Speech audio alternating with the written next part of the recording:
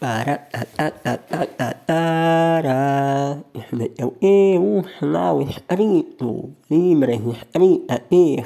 Escrito em slide, escrito e. O eu oração em mão assim, depois faz assim. Olha, primeiro assim, depois assim. Segundo, o E. As mãos estão assim, assim e bate duas vezes.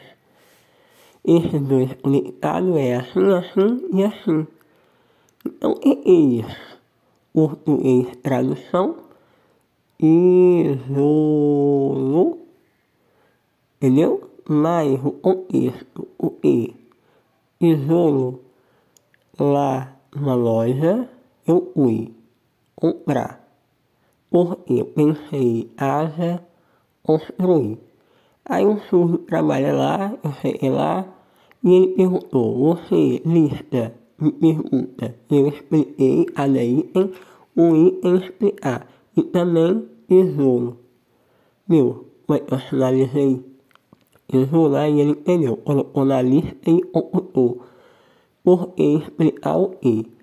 Eu comprar material. O substantivo eu finalizei assim. Mas no outro, por exemplo, eu estou finalizando o texto o que? Construção. A construção eu usei tesouro. Então não precisa fazer assim e assim, pode ir direto e desse jeito. Então construir com tesouro significa construir usando o tesouro.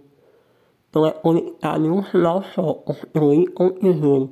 Então eles, recursos no contexto, sinaliza direto o verbo. Então eu haja e construir.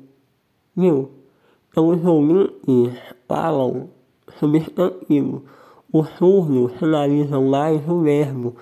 Por trás a mesma coisa, é o jeito conecta um, conecta o outro, culturas de cada um.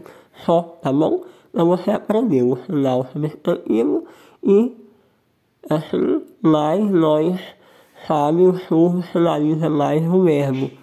Construir com tesouro, tá bom? Vamos!